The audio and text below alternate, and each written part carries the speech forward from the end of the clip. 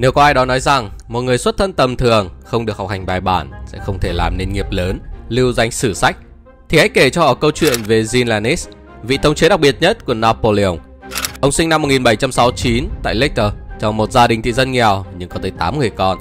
Từ rất sớm, ông đã bỏ học để mưu sinh bằng nghề thợ nhuộm. Đến khi gia nhập vào quân đội, ông còn chưa nhớ được đầy đủ mặt chữ, sai chính tả, nhưng lại thể hiện được sự dũng cảm và phản ứng tuyệt vời trên chiến trường. Sau chiến dịch đầu tiên ở Ý, Napoleon Bonaparte đã để ý và cân nhắc Jean Lenis lên cấp tướng. Từ đó, ông đã sát cánh cùng Napoleon trong hầu hết các chiến dịch quan trọng của vị hoàng đế Pháp. Dù đã được hào quang rực rỡ, nhưng Jean Lenis lại rất ghét nghỉ lễ mùa hè, yêu thích cuộc sống bình dân.